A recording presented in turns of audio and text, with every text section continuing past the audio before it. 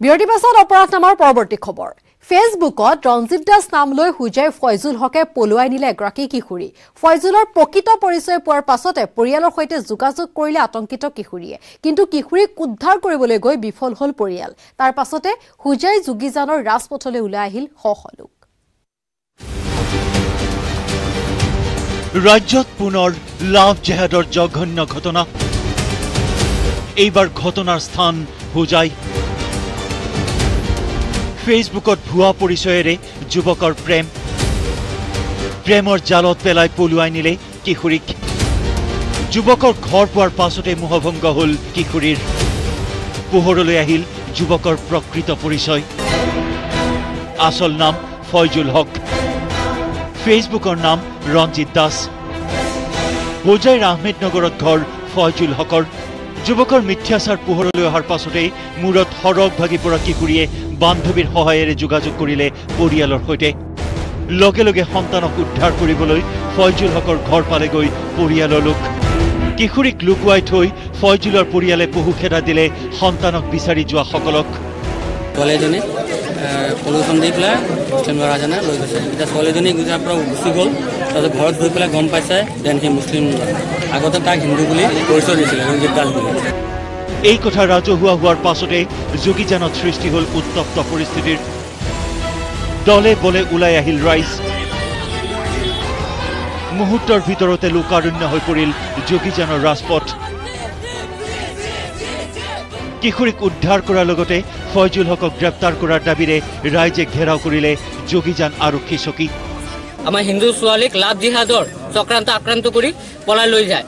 এই ক্ষেত্ৰত আমি প্ৰশাসনক জনাইছোঁ আমাৰ হুজাই অ চি ছাৰক জনাইছোঁ ডি এছ পি বাইদেউকো জনাইছোঁ প্ৰশাসনে কোনো ইয়াৰ ক্ষেত্ৰত কোনো হস্তক্ষেপ কৰা নাই গা গজ দিয়া নাই। এইকাৰণে আমি গোটেই যোগীজান বজাৰ ৰাইজ আৰু হিন্দু জাগৰণ মঞ্চৰ পৰা হিন্দু যুৱ সমাজে পূৰা যোগীজান বজাৰ বন্ধ দিছে আৰু প্ৰশাসনৰ বিৰুদ্ধে আমি ইয়াত একত্ৰিত হৈছোঁ।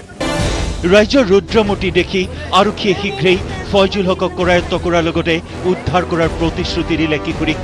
কিন্তু আৰক্ষীৰ প্ৰতিশ্ৰুতিৰ পাছতো শান্ত হোৱা নাই যোগীজানৰ পৰিস্থিতি। নিশাৰ ভিতৰতে কথামতে আৰক্ষীয়ে কাম কৰি দেখুৱাব নোৱাৰিলে নিয়ন্ত্ৰণলৈ বাহিৰলৈ যাব পাৰে আইন শৃংখলা পৰিস্থিতি। হোজাইৰ পৰা প্ৰণৱ শৰ্মাৰ report News Eighteen Assam North East. বিলাসী হোটেলত ডিনাৰলৈ মাতি প্ৰবঞ্চনা কৰা তিনিটাকৈ প্ৰবঞ্চক জালত পৰিছে আৰক্ষীৰ প্ৰবঞ্চক প্ৰতিষ্ঠানৰ পলাতক বিষয়াৰ বিৰুদ্ধে অব্যাহত আছে আৰক্ষীৰ অভিযান।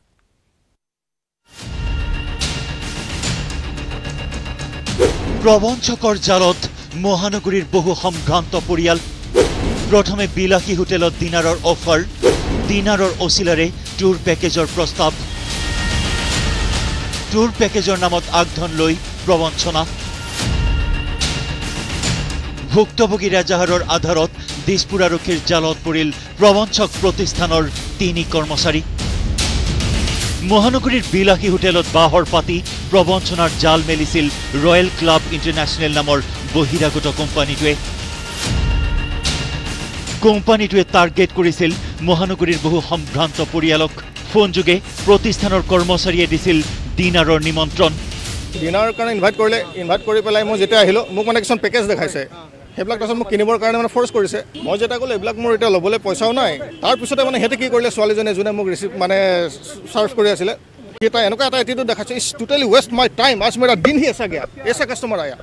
মেনে বোলা আৰু কৃষ্ণে কৃষ্ণ বোলা আপোনালোকৰ নাহিতো মোৰ বোলাই এটা না? ডিনাৰৰ নিমন্ত্ৰণ ৰক্ষা কৰিবলৈ আহি দিপাঙত পৰিল বহুকেইটা পৰিয়াল। ডিনাৰৰ পূৰ্বে ৰয়েল ক্লাব ইণ্টাৰনেশ্যনেলৰ কৰ্মচাৰীয়ে দিলে হলিডে ট্ৰিপৰ প্ৰস্তাৱ। কেইবাটাও লাখটকীয়া পেকেজ লাখটকীয়া পেকেজ ল'বলৈ অমান্তি হোৱা পৰিয়ালক সকলোৰে সন্মুখতে অপমান কৰি বিলাসী হোটেলৰ পৰা খেদি পঠিয়ালে ৰয়েল ক্লাব ইণ্টাৰনেশ্যনেলৰ কৰ্মচাৰীয়ে। ডিনাৰ বুলি মাতে কোনো ডিনাৰ চিনাৰ নাই। আপুনি সেইটো মানে সিহঁতৰ পলিচিটো ক্ৰয় ক্ৰয় কৰিলেহে তাৰমানে আপুনি ডিনাৰটো পাব। টোটেলি ফ্ৰড এনেকৈ মানুহক মানে ঠগি আছে। হয় চব ফেমিলিক টাৰ্গেট কৰি আছে আৰু মই যাক যাক পাইছোঁ কাকোৱে ডিনাৰ দিয়া নাই। বিহেভিয়াৰটো কিয় বেয়া কৰিব? আমাৰ টেবুলৰ জনীয়েতো অলপ ভাল ব্যৱহাৰে কৰিছে মোক। বাকী যোনকেইজন আছিলে আৰক্ষীৰ অগোচৰে এসপ্তাহ ধৰি মহানগৰীত চলি আছিল এই ৰয়েল ক্লাব ইণ্টাৰনেশ্যনেলৰ প্ৰবঞ্চনা। অপমানিত হোৱাৰ আশংকাত ইতিমধ্যে কেইবাটাও পৰিয়ালে হলিডে ট্ৰিপৰ নামত প্ৰতিষ্ঠানটোক জমা দিছে লাখ লাখ টকা।